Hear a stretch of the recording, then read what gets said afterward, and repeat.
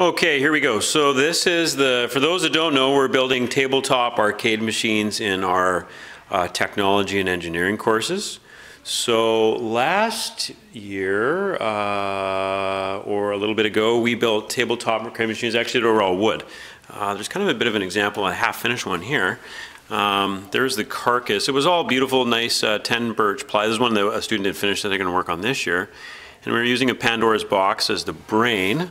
And there's the top that they did. And uh, they had some laser uh, laser graphics in the top, which is cool, little uh, uh coating. And then they got to 3D print their nameplate, and that's all under epoxy, which is super awesome.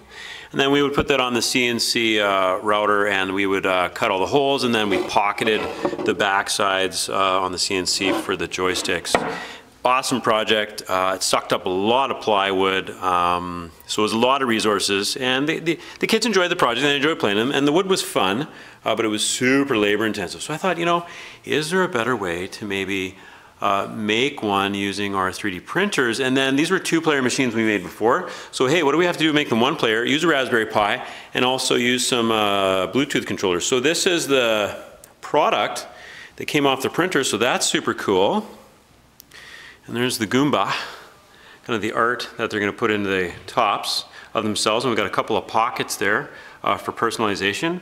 Uh, player one, start select, all that's going to be uh, filled with epoxy. And then on the back side, uh, that's all pocketed for the joysticks and all laid out nicely. And I got so excited I had to, I wanted to toss the buttons in. So that's why it's got some of the arcade buttons already installed. Uh, some holes for hinges.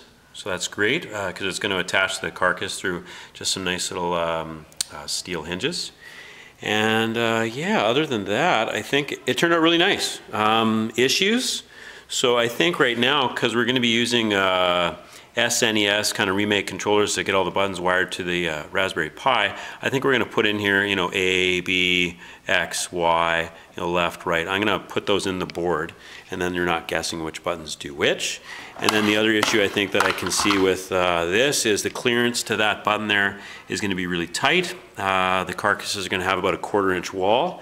So it'd be nice if this pod of buttons maybe moved over you know, maybe a quarter inch. Yeah, maybe a quarter inch would be nice. So I might do that update. But all in all, as a prototype, uh, this is awesome. This worked out really. This worked out really, really great. So uh, you know, it's about a quarter inch thick, um, and uh, you know, I'm going to change some of the settings when we print the the next one. But as a prototype, this worked out like 95%. So that's super awesome. So there you go. So just a quick update on the MAD tabletop arcade machine, which is fun and uh, the graphics in the board, which is fun, which is the personalizing. And uh, yeah, we'll be back.